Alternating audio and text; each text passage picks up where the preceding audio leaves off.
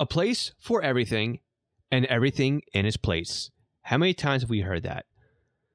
This holds true when it comes to frequency allocation. In other words, this means that you will find certain types of communications in certain parts of the spectrum.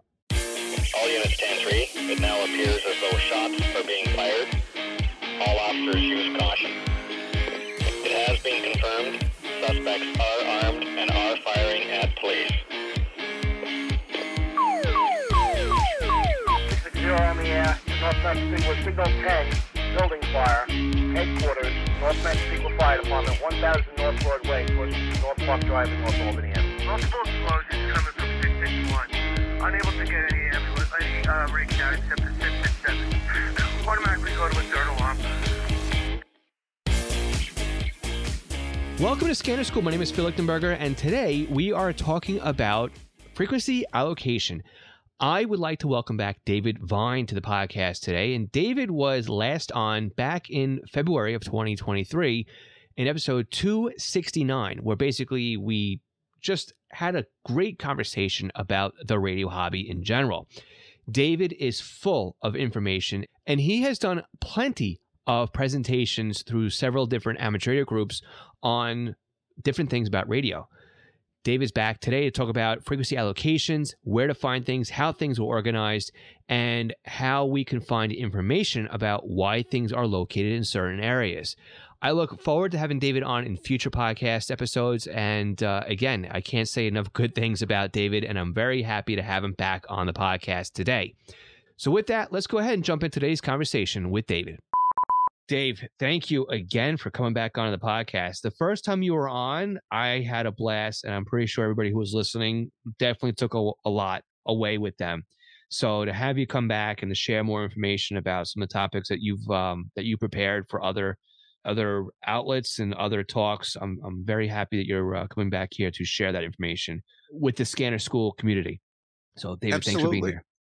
Oh, my pleasure. Phil, it's really a pleasure chatting with you. I, I there's no one else that I know that I can talk to like who's knowledgeable like you are. So I enjoy it. It's a pleasure for me.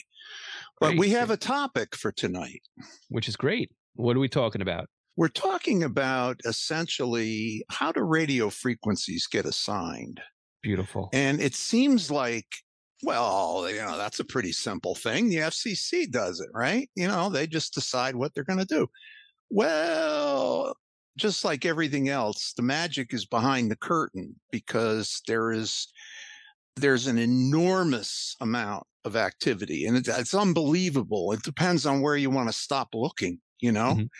But obviously, in the old days, you know, it was to avoid chaos in the broadcast area now they've gotten way past organizing and allocating in fact uh, it's been quite a while but they they they're calling it a, a precious resource even Oh, more is. so today Yeah, oh, 100% is precious resource because it, it's there's only so much of the RF spectrum that's available, and uh, I mean you know more than anybody else too, right? There's certain parts of the spectrum that have that people lobby to get or acquire, and there's certain parts of the spectrum that you and I use that's not generating any money for anybody that people can look at and say, well, that's wasted spectrum. It's happened on the 220 band. But um, you look at some of the TV providers, right? The C band satellite is being told at this point to move their downlink frequencies because cell phone carriers are now grabbing the C band spectrum. And when you look at some of the spectrum, that's where it gets its name from, right? C band, uh, UHFT, because that was the UHF TV band. So, uh, so yeah, a lot of uh, a lot of organization, a lot of organized chaos in a lot of the bands also. well So- it's competition for spectrum slots Oh, totally is.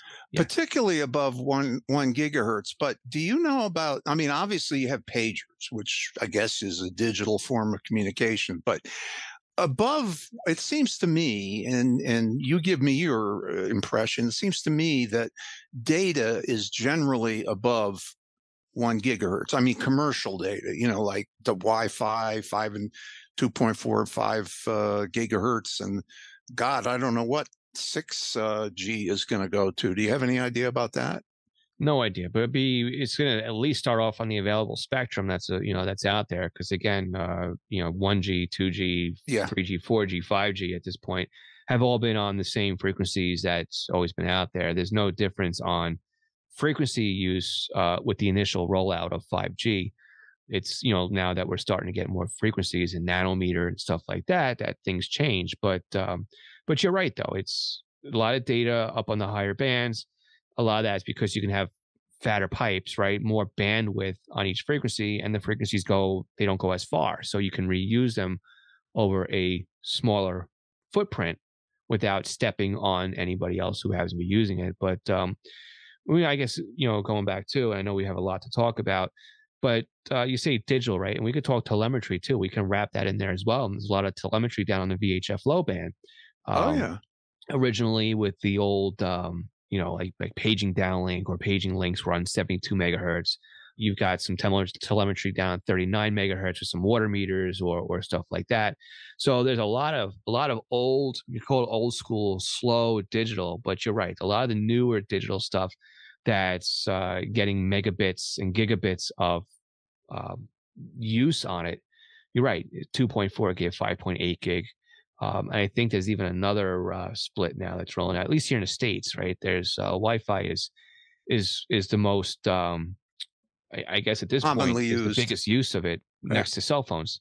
Yeah. So Absolutely. Now, so if we have these frequencies being assigned, which they are, and most people think, oh, well, you know, CFCC, right? Well, it's not so simple. And in fact, it actually brings up a a point that I'm a pretty strong supporter of, and that is national sovereignty. Uh, countries are sovereign. They, you know, it's people associate that with the word king, but it's not. It just means that we are a nation and we have our own laws and regulations and we have customs and mores and all kinds of things. But the ITU, which is the International uh, Telecommunications Union, is really, they sit on top of the pyramid. And it's kind of time, well, sort of timely that we're talking about this because I believe it's December in somewhere in the Middle East. They're going to have the World Radio Communication Conferences. And, uh, you know, that is where a lot of things get decided. And then because we as a nation are a treaty signee, in other words, we've signed a treaty Mhm. with the ITU to follow certain procedures, you know? And so consequently, if you start to dig down into the frequencies, you'll see the table the table of allocations and on one there's a whole column for ITU and then there's the right column is for the US. So, you know, there's a lot. And by the way, in terms of data, you're probably looking at the people who are probably most interested in data are the SDR users because they're more technically inclined. They're they have access to all kinds of software to decode things, uh, et cetera. But I Mhm. would say probably what 85, 90% of your visitors are really just interested in voice. Does that sound about right? It sounds about right. But when you start thinking about things too, what is P25? What is DMR? Right? Oh, what is yeah. NXDN? It's not a voice path. It's actually data. Correct. Yep. Correct. Okay. So you have the ITU, and uh, basically, they have three uh, main divisions. One's the telecommunications development sector. That means giving money and expertise to poorer nations. Uh, telecommunication standardization sector. That's kind of nebulous, you know, but I don't really don't know much about those two. But the radio communications sector, which is referred to as ITU hyphen R, as in Romeo, and we're talking about uh, India Tango Uniform hyphen Romeo, ITU dot, uh, dot dash R.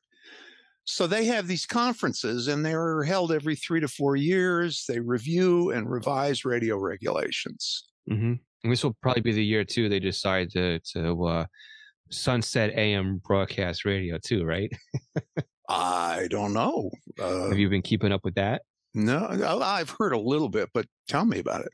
So uh, yeah, so some car manufacturers have decided they're not putting AM radios inside their vehicles.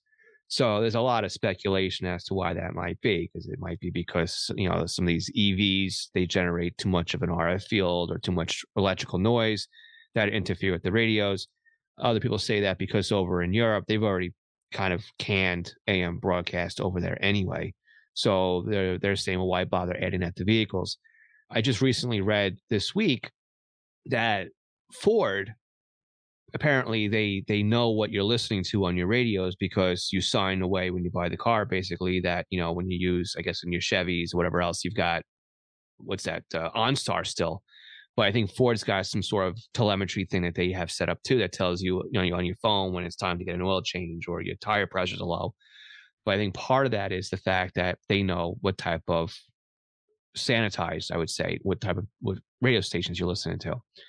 And they've said that 20%, only only 20% of their users or their car owners are listening to AM radio. So it, it is part of this whole big thing now to remove AM radio from vehicles, which will be pretty sad to see, to be honest with you. I know my car is a 2011 and the AM side of the radio went toes up on me for some reason. And I was all bent out of shape until the local AM broadcast station here that I like to listen to is now simulcast on an FM radio station. So I can listen to them again. But um, it seems Yeah, like well, it, it is it is much better. I I remember probably at least 15 years ago, I Hmm. was driving up Route 1 in New Jersey trying to listen to WCBS News Radio 88. Mhm. And every half mile or so, I would get this drown out from probably transformers, but I could not listen to the AM. Right. And that's part of what people are saying. Like it's just better on FM because, you know, it, it just sounds better and it, it doesn't fade out and whatnot. But um, I, I believe there's something that runs on the background of AM far as far as not national defense, but I think it's the national like alert system or, or something that they said that uh, Well, there's AM radio is important that, right? It's called IPAWS, but uh, IPAWS covers everything. You know, Okay. it starts with NOAA weather radio and then goes into all the electronics and cable systems, et cetera. Gotcha. But anyway, so the word stakeholders becomes Mhm. very important.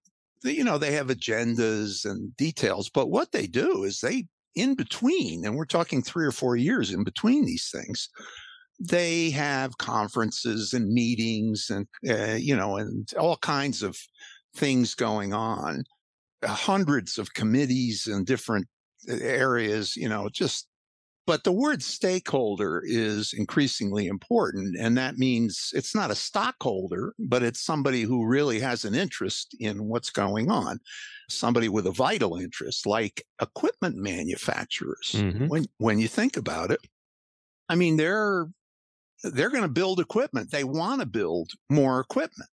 Consequently, they're going to be lobbying for whatever it is that they build, you know, the frequencies Mhm. or additional frequencies for you know for that use Right. And again, we can talk about how that, you know, there's there was the mother M basically didn't want to do low band anymore. They didn't want to make equipment for that. So they they said, I'm getting out of that business and forcing everybody to do the same that wanted to buy a new radio.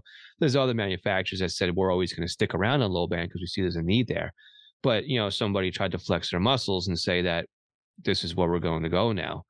And Yeah. uh, you know, the same thing you said, you know, manufacturers they want to build equipment, there's got to be the standard and the stakeholders need to all be in line, especially for the flexibility of buying generic equipment or, or equipment that's going to be able to plug and play into each other with protocols. I'm sure we're going to talk about all the different protocols or at least interconnectivity between Well- equipment, right? yeah one of for instance okay one of the stakeholders is the broadcast and media industry association so it's an international trade association for people who are in manufacturing and sales of equipment to the broadcast industry. You have the dmr association okay? Mm-hmm. Digital mobile radio. These are the people who developed the standards and promulgated in their equipment and consultants, anybody that has a financial interest in DMR. But then you have a user group like the International Amateur Radio Union. The DMR Association represents people who make digital mobile radios, you know, and the, the, the, the format for DMR. You have the P25 people. I mean, they're all, Mhm. they all have groups and associations now. And we're, we're working our way to public service because that's where it seems to me it becomes really intense and there's so many different stakeholders and uh, people clamoring for money in that field in terms of grants. But in any case you've got a whole bunch of different conferences and committees with the ITU then you have the FCC of course.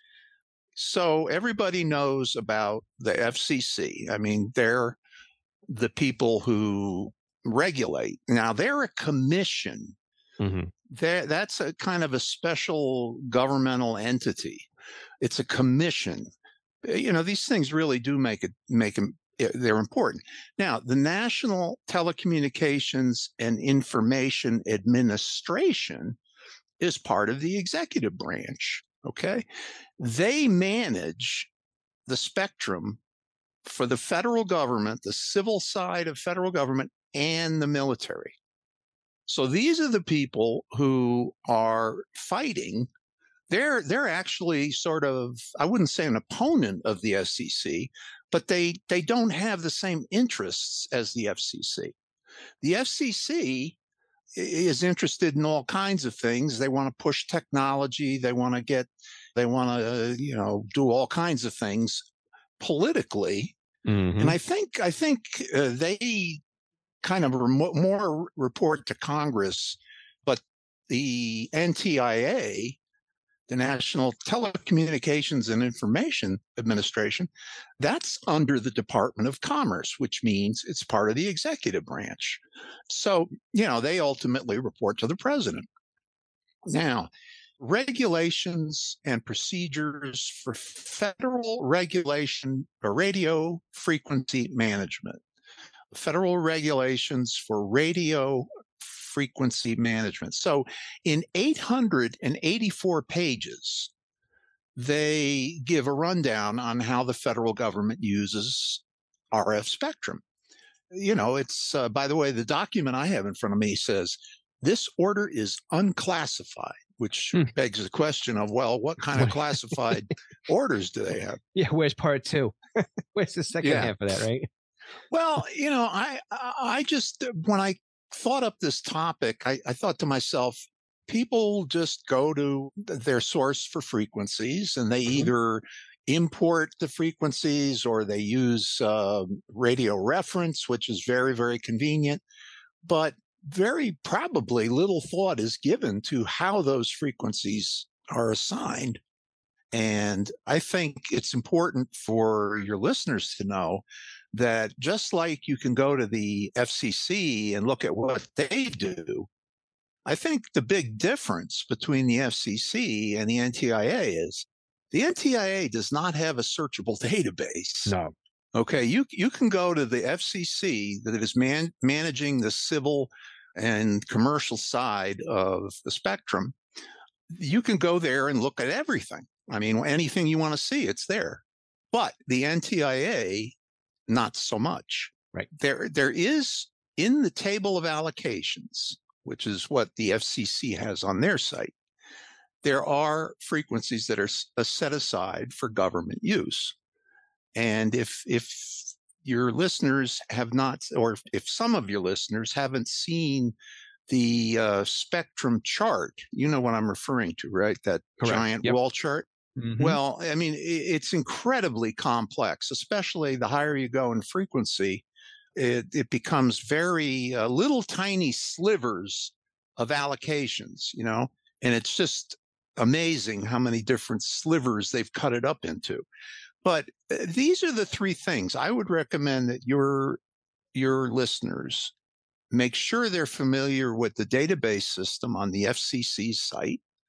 Number two, get the NTIA manual for 2022. Download it, it's free. and just look through it. You know, maybe just look at the uh, table of contents and see if there's anything interesting. Okay. But the other thing that they're very much involved in, and this this kind of mirrors what's going on with the uh, FCC, they're big into emergency preparedness. We're talking NTIA, but actually both agencies. And for instance, the FCC has a major program going with um, utilities, uh, both the, well, I shouldn't say utilities, but the telephone company, service providers, both wireline and wireless. Okay. They have a system. It's called a disaster management system, I believe. And uh, I don't believe you can search any of those records, but you know, they manage outages. In other words, if there's an outage, like from a big disaster like Katrina or something, mm-hmm. I guess previously they never really had a handle on what was going on. Somebody would, they'd be on the phones talking with somebody. But now it's all in a big database and all of the uh, cell service providers, you know, have to, um, have to comply. Correct. Yeah, you have to report if there's an outage, X number of pops and stuff like that. So yeah, it does become very important to know what services are up or down. So, yep. Well, in emergency preparedness, that's where it becomes really very interesting. One of the things that I'm sure your some of your listeners or most of your listeners probably know about is FirstNet. F I R S T N E T. Well, FirstNet is a wireless internet or, you know, wireless networking, so to speak, service. But it's a second internet and it is a private internet for uh, law enforcement and emergency management people. And I guess government at some level. I mean, in terms of local, you know, the mayor, I'm sure if he wanted to. Well, in fact, they do. The FCC issues what's called GETS, which is uh, Government Emergency Telecommunications Service. And these are actually like, I guess, like a credit card, but it's a card. You get it? It's got a procedure for overriding the regular system. Now, exactly what the procedures are, uh, they're probably public, but I've never really looked at it. But that's why I say it starts to get interesting because FirstNet is completely a wireless system. I believe it's on 700 megahertz, if I'm not mistaken. Yeah, I can't uh, really speak too much about FirstNet since I'm kind of involved with it. so I have to watch where I chime in and what I say. But uh, oh, oh, okay. So you know yep. about it. I know very, very. Yeah, I, I okay. I, part of my nine to five is involved with FirstNet. So let's put it okay. that way. But you're right. right. The the spectrum that was allocated to the wireless provider here in the U.S. that won the FirstNet contract, those frequencies are in the 700 megahertz band. That's correct. Okay. Okay, let's take a quick break right here in this conversation that Dave and I are having to just remind you that if you are a Patreon supporter at $3 a month level, you will get this podcast earlier than our weekly release schedule. You'll also get it without this upcoming break. So if you want to help support the podcast, please go to scannerschool.com slash Patreon. SAFECOM. Tell me what you know about SAFECOM. You, I'm sure you know more than I do. tell me what you can tell me. Mm, no, not really. you can go ahead with this one. Yeah, this is interesting. This is something I'm going to learn right here. So go ahead. Well, SAFECOM is a quote public safety stakeholder driven program sponsored by CISA, C I S A. You know that term? No. CISA is now a huge department, or I should say, division.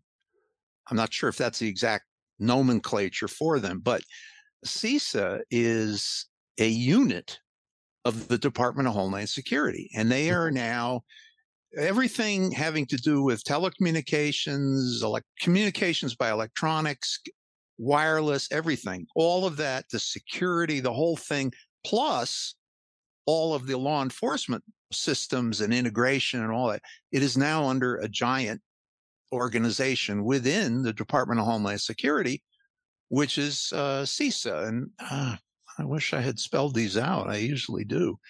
Anyway, and now is where you know stakeholders uh, it really comes to the fore because you're talking about emergency communications grants, Mhm. a list of federal financial assistance programs for funding emergency communications. And when you look at that, it is a very long list. Okay, so I'm on the Department of Homeland Security website right now. Oh, wait a minute. It says www.cisa, Charlie India Sierra Alpha dot gov. So it's it's not really it's supposed to be part of the uh, DHS, but it looks like they're getting bigger and bigger. Anyway, if you go to their list of federal financial assistance programs funding emergency communications, you're going to see a page with at least dozens and maybe close to 100 different programs. Now, that's just funding. The grants are a whole other thing emergency communications grants. So you can see how much money is being allocated, spent, whatever you want to call it, in this field. So obviously, the equipment manufacturers and the service providers, they're sitting there at the sidelines licking their chops, which is fine. I mean, uh, you know, I have an MBA. I'm not against business, I'm not against profit. But um, in the case of some of it, it's kind of a monopoly. I mean, AT&T has a, a monopoly with FirstNet, but be that as it may, you have the National Council of Statewide Interoperability Coordinators. So that's another group that makes sure that the frequencies that are assigned, the, that are allocated, and now we're talking mm, primarily about the trunking systems.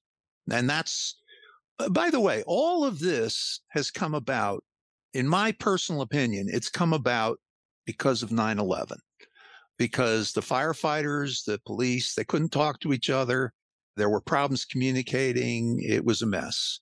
And Mhm. so they had the um, the 9/11 commission, and I converted the entire text of the reports into an audio file, and spent many hours listening to that while I was on the road. Oh wow. But in any case, there's a lot of money in public safety telecommunications. There are a lot of different organizations. You look at the National Public Safety Telecommunications Council, and there are two categories. You have members, you have associate members, but then the other category is liaison and affiliate organizations. So really, it's a council. It's like almost probably like the UN, you know, or the General Assembly is the council of all the countries. So everybody that has an interest in the public safety telecommunications is represented. Let's just look at the uh, associate members list here. Oh yeah, I mean, uh, first of all, the governing board, and these are the voting associations, are everything from the American Association of State Highway and Transportation Officials, the American Radio Relay League, Association of Fish and Wildlife Agencies. It goes all the way down the list alphabetically to the National Sheriff's Association. You know, International Association of Fire Chiefs, uh, Emergency Managers, this, that, and the other thing. Then we have, you know, the Utilities Technology Council. They're an associate member of this. And the public safety, you know, they, they have multiple agencies. It used to just be APCOA, Mhm. but now uh, they've changed their name and it's, um, you know, it's, you know, they represent themselves as being international, but they have li- liaison and affiliate organizations everything from the Alliance for Telecommunications Industry Solutions to govern uh, Government Wireless Technology and Communications Association. Okay, get that an association for government, government wireless technology and communications. The Open Mobile Alliance, which is probably uh, open source software people. Then you have uh, Project 25 Technology Interest Group So those are the folks that are pushing P25 technology. Safer Buildings Coalition, they would like to get money to put, I would imagine, they would like to get money to put repeaters inside buildings. Uh, you know, these are probably major owners of office buildings. Right. Yep. And I mean that's that's exactly what it is. You know, it sounds like it's um think about it. You walk into a, a building in the city, right? Or a hospital, and, and all of a sudden now you can't talk to the outside world, right? Because Yeah. you walked into to the triage center or the emergency room. Or you walked upstairs because there's somebody you need to keep eyeballs on. You can't talk to now somebody who's in a lobby, right? It, there's there's a lot of stuff out there now that's you know that, that's what you're saying there's a lot of wireless out there and and uh, it does require a lot of organization to make sure that everybody can play in this limited size sandbox that we have called our spectrum Yeah. Well, there's a group here that I've never even heard of, the Critical Communications Association. And the Critical Communications Association, I don't know much about them. And then there's the Telecommunications Industry Association. So who's at the top of the pile there? Take one guess Motorola. All right. Then you have RELM Wireless. Whoever heard of Realm? I, well, maybe you have. It's a name that's familiar yep Yeah. Well, you know, these are infrastructure people. These are the people that build the the technology that enables repeaters. Mhm. It, you know, of course, Motorola, I think, does it all. But there are other businesses. In fact, there's a ton of businesses exactly and and there's the thing too right so let's look at it from a different perspective a little bit because you because you were saying before right you've got the associations you've got basically like the dmr has got i forget the name for it but there's um it's like the dmr association the nxdn uh, not association but they have their other other name for it. But these are digital technology right? So there has to be a protocol that follows it. There's got to be a, a language that's spoken across different manufacturers to allow things to work. There's certain types of features or or ways of doing things that allow radios to talk to the infrastructure that allows the repeaters to talk to other repeaters that allows it to talk to the computer system that allows it to talk to this. But not only that but you have to make sure you've got hardware that allows these types of transmissions to go through things. So you have to have the right combiners or diplexers or quadplexers or whatever it is that you're going to be funneling rf through whether it be a community repeater system that has several different frequencies going into a community receiver or or transmit antenna.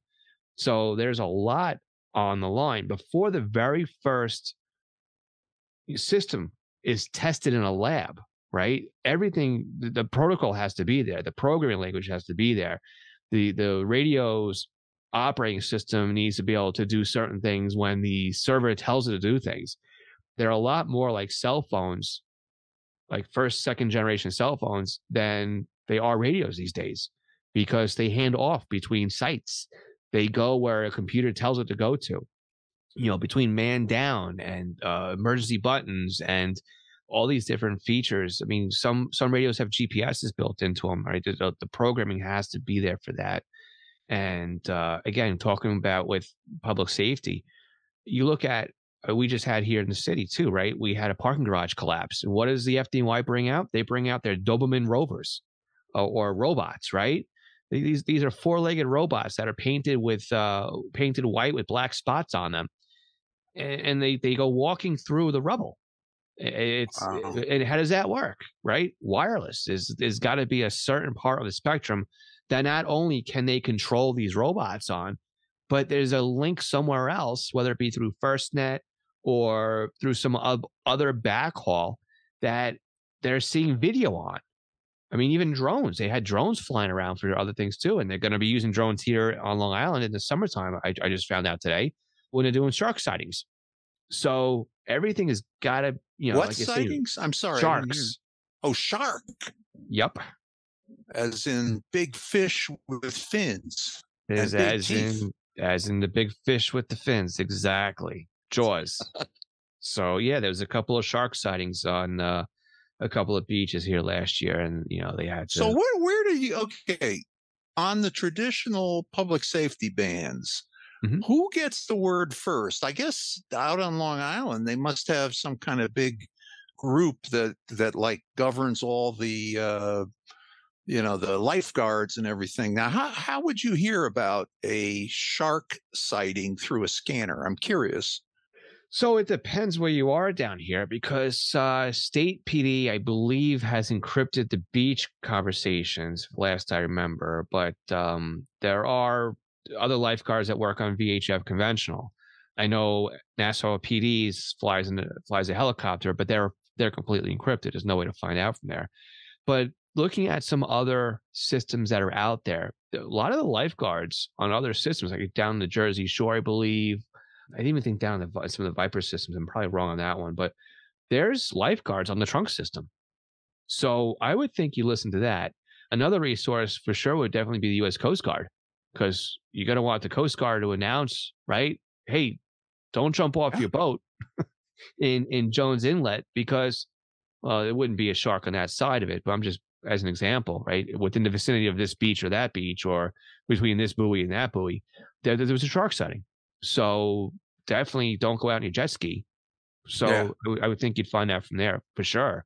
Would be out on the. Uh, on the You Guard. probably have some broadcast stations that actually have roving reporters or some kind of uh, you know outpost on the beaches, yeah, or not, at least on some of the major anymore. areas. This- Say again. Said not on AM anymore, right?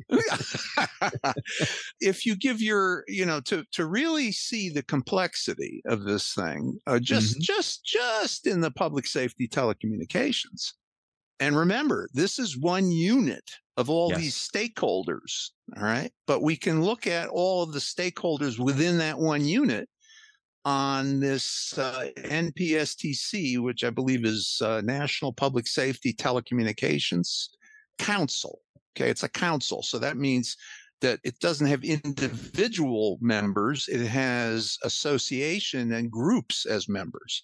So there is a NPSTC, that's no uh, November Papa Sierra Tango Charlie organizational chart.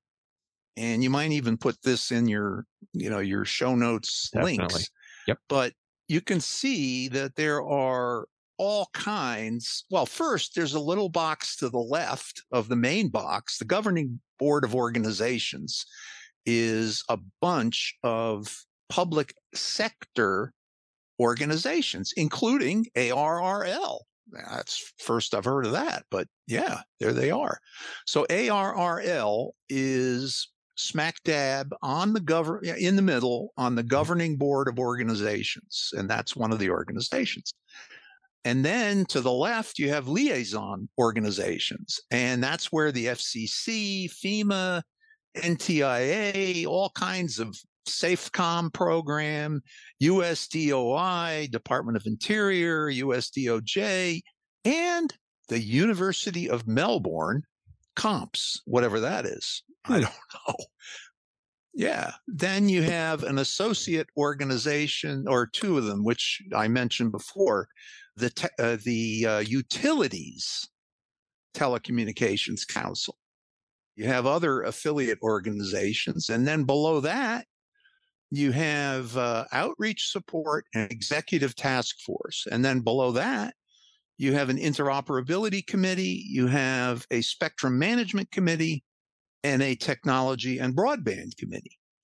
So, to what you're saying before about all these different behind the scenes back office stuff, here in the spectrum management committee, they're particularly concerned about GPS interference and mm. 911 location accuracy and in building communications. What the heck is the T band? The T band would be uh, the old UHF TV band. Okay. So, so Well, you're looking at uh, channel, what it things was that channel 14 to 20, 20 what? 20, 20 something, right? Megahertz.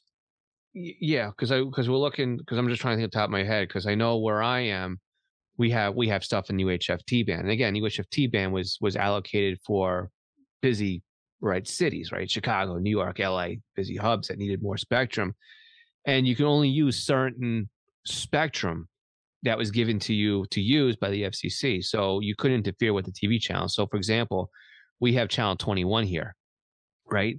So in UHF band, you would you would use I think channel 19 and 20 where I'm where I'm located, and in another part of the country you would use channel 22 and 23, whatever it is.